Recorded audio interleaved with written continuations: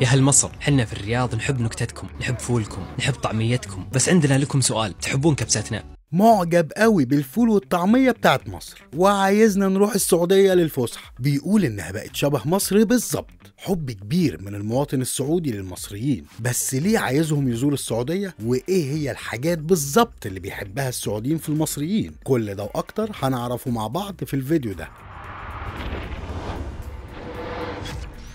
علاقة حب كبيرة تجمع ما بين الشعب السعودي والشعب المصري. الاتنين بيحبوا بعض جدا لا يمكن وصفها بسهولة. حاول على قد ما يقدر مواطن سعودي إنه يعبر عن كده في الفيديو اللي إحنا بنستعرضه دلوقتي. طول الفيديو كان الراجل السعودي بيحمل الحب والمودة للمصريين وبيقول إنه مش لوحده اللي بيحب المصريين كده لأ ده كل السعوديين بيحبوا مصري جدا. أي حاجة في مصر بيحبوها من أول أسلوب الكلام واللهجة المصرية اللي حبها جدا الأكل المصري بيحبوه. عارفين الطعمية بتاعتنا؟ اللي ملازمانا في الفطار وكلنا بناكلها؟ طلع هم كمان السعوديين بيحبوها مننا إحنا جدا. ولازم لو حد فيهم نزل مصر زيارة ولا حاجة لازم عليه إنه ياكل طعمية ويعدي على أي عربية فول يفطر منها. ياخد طبق الفول اللي بالزيت الحار مع طبق طعمية وشوية بطاطس ويتسلطن بالأكل. بس في سؤال بيسأله الشخص السعودي للمصريين نفسه يعرف إن كنتم بتحبوا الكبسة بتاعتهم ولا لأ؟